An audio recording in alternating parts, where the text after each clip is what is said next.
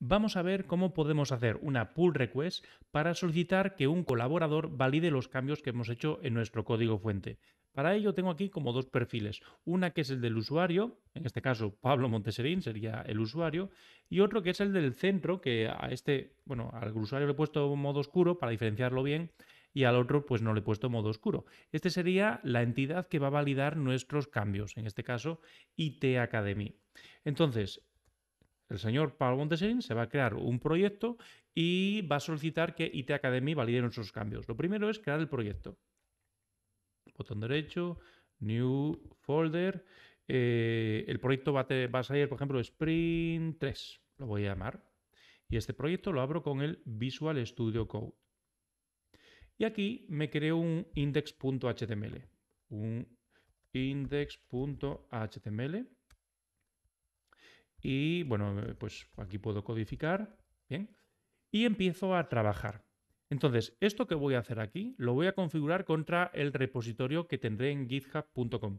Para ello tengo que ir a github.com y crearme un nuevo repositorio. Nuevo repositorio. Lo voy a llamar, por ejemplo, Sprint 3, ¿lo llamé? Sprint 3, sí. Sprint 3 va a ser un repositorio público, perfecto, y le doy a crear repositorio. De aquí lo que me interesa es esta línea de código, que la utilizaré para eh, configurar lo que tengo en local eh, contra el repositorio de github.com. En el Visual Studio Code, pulsando Control Ñ, puedo abrir la consola, inicio mi proyecto en Git, git init, y ejecuto la línea que configurará mi proyecto local contra github.com. ¿Vale? Ahora eh, yo puedo eh, subir esto, por ejemplo, a mi, servidor, a github.com. Si hago un git add punto, añado los cambios que quiero subir, git commit "-m", puedo etiquetar la subida, subida, por ejemplo, y git push origin master es para subir esto al repositorio de GitHub, concretamente a la rama master. Entonces voy al perfil del usuario y si ahora refresco, veo que tengo una rama master donde está mi fichero index.html. Entonces, para trabajar tengo varias opciones. Yo lo que voy a hacer es crear una rama dev y un, voy a hacer un commit diferente, una pull request diferente por cada uno de los eh, niveles que quiero validar. Entonces, me voy a crear la rama dev. Para crear una rama, puedo hacer git branch y la voy a llamar rama dev. Si hago un git branch a secas, veo las ramas que hay y ahí veo mi rama dev. Esta rama ahora mismo no existe en mi servidor. En mi servidor solamente está, en github.com solamente está la rama master. Pues voy a pasar a la rama dev. Para pasar de una rama a otra hago git checkout dev. Y voy a hacer una subida git push origin, que es la palabra que identifica en este caso a github.com,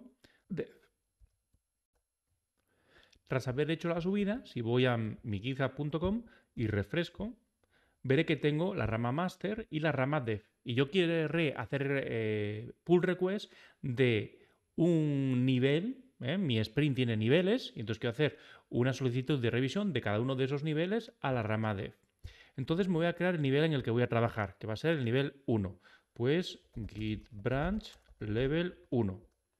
Hago un git branch a secas y veo que la rama level 1 está. Y aquí es donde voy a trabajar. Entonces voy a pasar la rama level 1. Git checkout level 1 para cambiar de rama. Y aquí empiezo a trabajar y a hacer el ejercicio. Entonces este ejercicio, por ejemplo, tiene un script que dice alert 1. Esto es lo que hace este ejercicio. ¿vale? Suponte que este es el nivel 1. ¿Vale? Pues voy a subir esto a mi servidor. Para ello, git add git commit "-m". Em, esto lo voy a etiquetar como level 1. Para que eh, la persona que va a evaluar esto sabe que es una, parte concreta del, del proyecto git commit level 1, importante esta etiqueta para diferenciar level 1 de level 2 y de level 3 y así. Y finalmente un git push origin level 1, que es el nombre de la rama en la que estoy y a donde quiero subir los cambios. Pues cuando ejecuto esto y ahora me voy a github.com, ya terminado, voy a github.com y veo que aquí tengo la rama level 1. Bien, y en esta rama quiero hacer una pull request. Quiero solicitar la pull request, pero para ello, eh, a la persona a la que le quiero solicitar la pull request, que valide mis cambios, tiene que estar añadida como colaborador. Así que me voy a settings y en administrar acceso, invito a un colaborador, que en este caso va a ser IT Academy Online, ¿vale? O quien sea el usuario que quiero que revise lo que estoy haciendo. Y le doy a añadir. Cuando hago esto, a la persona colaboradora le llega un correo. Entonces me voy a la persona colaboradora, que se metería en su cuenta de correo y le llegaré un mail solicitando la colaboración. Este señor te solicita colaborar. Vale, vale, perfecto. ¿Vale? Pues le doy a aceptar la invitación de colaboración. Esto es lo que está haciendo el centro, IT Academy. Ahora que ya somos colaboradores, ya te puedo solicitar una pull request. Vuelvo aquí y en pull request puedo solicitar una nueva pull request. Bien, y esta pull request va desde el level 1 hasta la rama dev. Hasta la rama dev. Y le doy a crear pull request. Crear solicitud de revisión. ¿Quién quiero que me revise esto? Pues aquí en revisadores está IT Academy. Hay varias formas de hacer esto. Puedo ponerlo aquí. Está. Puedo ponerlo aquí, mencionarlo con una arroba IT Academy. O puedo también asignarlo. Bueno, yo lo voy a hacer eh, aquí, asignándoslo como revisor. Y ya está. Si está todo en orden, le doy a Create Pull Request. Crear solicitud de revisión y ya está creada. Ahora, si me meto en la página de IT Academy, en la pestaña de, bueno, sería el menú Pull Request, Review Request, pero esto ya es lo que hace la persona que va a revisar el código. Esto el que envía la revisión no lo hace. Esto es el centro que va a revisar esto, ¿no? O la entidad que revisa esto. Aquí veo que etiquetado con level 1 tengo una solicitud de revisión, una pull request, y aquí pues el uso dicho se encargaría de revisar esto. ¿Qué pasa? Que el programador sigue trabajando, ya ha entregado la rama 1, pero sigue trabajando. Bueno, pues para seguir trabajando, voy a seguir trabajando en el siguiente nivel, que sería el nivel 2. Git branch level 2, ¿vale? Y hago un git checkout level 2 para trabajar en esa rama. Si hago un git branch, veré que ahora estoy en la rama level 2.